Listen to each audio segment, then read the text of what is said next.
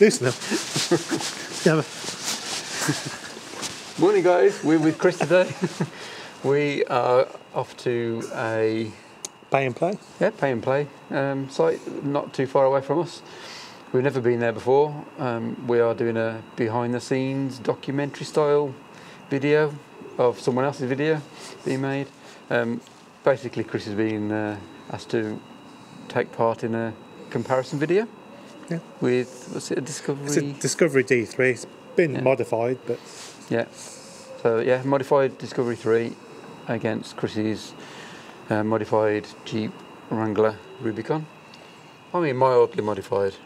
You got a suspension Just lift and lift, yeah. 35s. that's it. So we don't really know what the modifications are on the Discovery yet. We've never. We're not sure which vehicle it is yet. but yeah, we'll uh, see you guys in a bit. Truly amazed. Well, you brought your own coffee and food. Well, that, but wait till you see my coffee setup. Our friend Chris was invited to take part in a comparison video. We decided to tag along and film some behind the scenes footage. We hope you enjoy seeing what goes into making a video in these muddy conditions. Much is it? I guess it's okay, half. I've been you ticking away, can't you? Yeah. Okay. Should we go for it? Yeah, I, yeah. Hi everyone, we're here today at Silverdale with Chris, meeting up to see how is the comparison between the good old D3 and the Jeep Wrangler. Rubicon. Rubicon, it's not any old Wrangler, it's No, a. Rubicon. Rubicon, yeah. so, which engine's in that, Chris? That's a standard one is yeah. Standard one's quite high anyway. This is an extra two and a half inches. So um, so at the factory it comes with a plastic bumper on, which is sticks out about two foot. So that's like an aluminium stubby bumper. Yeah, that's the whole point to just I assume with the Rubicon, has it got the automatic sway bar yeah, switch well, off? it's, yeah, it's electric. Switch, switches it on and off. Yeah.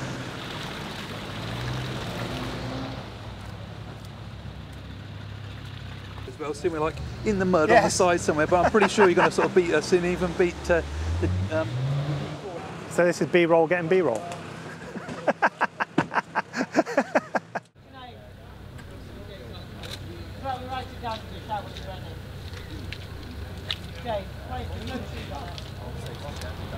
I'm losing, I'm losing against the Lord.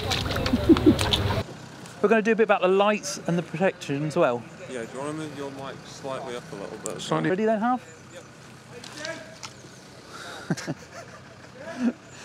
and hey, Chris, one of these uh, lights as well? They look um, pretty fancy. The rock sliders on this are obviously a lot closer in than I'd normally expect to see. I mean, mine are, mine are There's probably no no mud on it. Maybe. I don't know. Yeah, as you can see the Oh yeah, AEV. You got the 265, so obviously you beat me a bit on the width there. oh, that's fancy. looks like just the uh, twin air.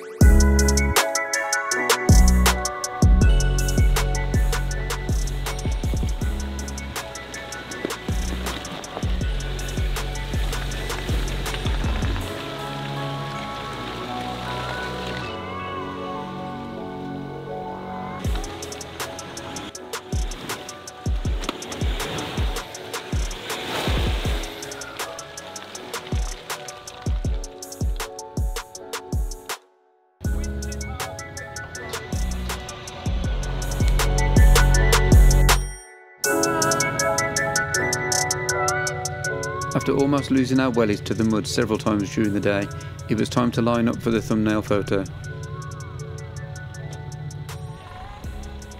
After the photo shoot, we move out the way to allow Matt and Harvey to film the closeout for their video.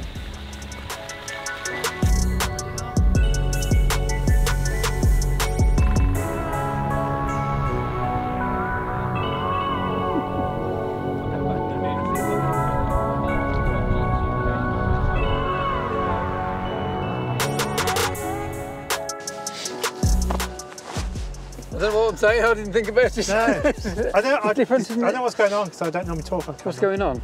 Well, this video's been about lucky you. 'cause I don't normally talk on camera. What has this video been about? I don't know.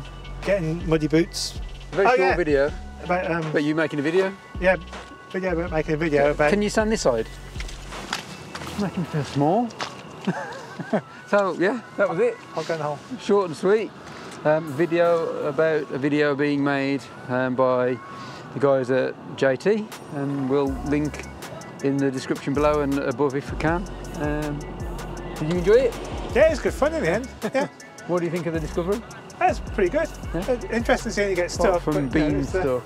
But it's only the ones. Interesting the, seeing the winching bit, but only the yeah. ones. But yeah, I think Nice, it's- it's good, nice wheel lift though. It was a very yeah. nice wheel We're looking lift. over here because Yeah.